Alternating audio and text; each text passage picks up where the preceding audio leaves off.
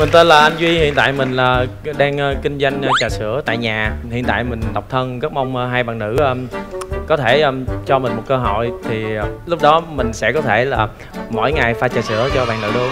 Trời ơi, đó chết rồi. Trước tiên là thấy hai anh số 3, số 4 là phải cạnh tranh nhau về mặt kinh doanh rồi đó. Trà sữa không hả ừ chứ đừng có nói là tới ờ, hai cô ngồi ngoài đây. Dạ. tại vì hai anh chàng đều bán trà sữa hết phải cạnh tranh nhau. Còn không thôi thì lát nữa hai đứa mà không được hai em này chọn á hai đứa liên kết với nhau luôn.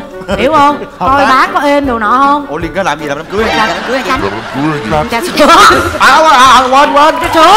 Trà sữa trà sữa. Mà ví dụ như tụi nó thành công hai thằng nhỏ thành công chẳng lẽ nó quên hai đứa mình cũng công bà mai mối? Chính xác. Đúng không? Khai hai đứa của nó cũng đẩy xuống. Gia đình nội ngoại tụi hai bên. Đúng không? Bên này bên ngoại bên nội. Chẳng lẽ giờ bỏ hai tụi con? Coi nó cũng kỳ. Dưới đây cũng sáu mấy đứa sáu mấy ly trà sữa hai đứa mình nữa ban tổ chức.